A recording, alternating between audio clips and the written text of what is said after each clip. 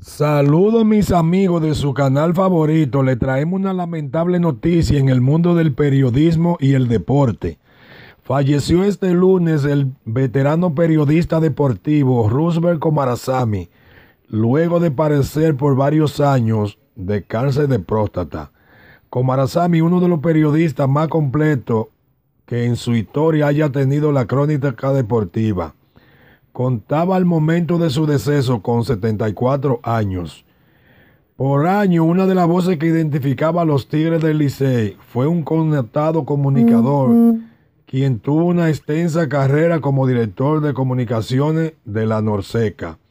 Desde la entrada, la noche de este lunes, se supo la noticia, la misma se expandió mediante las redes sociales es muy difícil tener que dar la noticia del fallecimiento de mi gran amigo, escribió Bienvenido Roja en su cuenta de Twitter. Y fue uno de los periodistas más cercanos al siempre apreciado hindú, como le llamaban sus más cercanos amigos.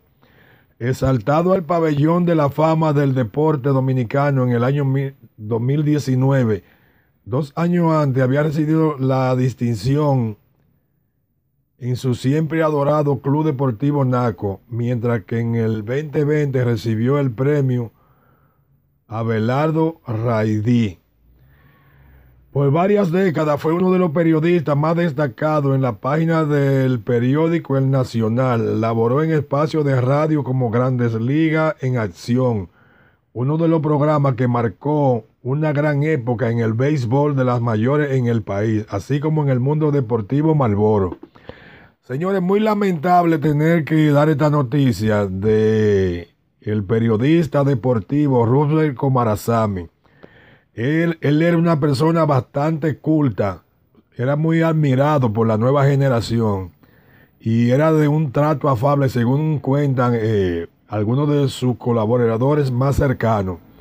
En este caso, bienvenido, Rojo. Así que muy lamentable que el periodismo deportivo y el deporte en general haya perdido una persona de, la talla de Roosevelt Comarazami, el hindú, como le llamaban sus más cercanos colaboradores.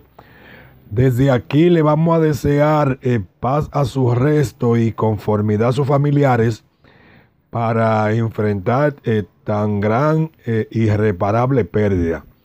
Paz a su resto.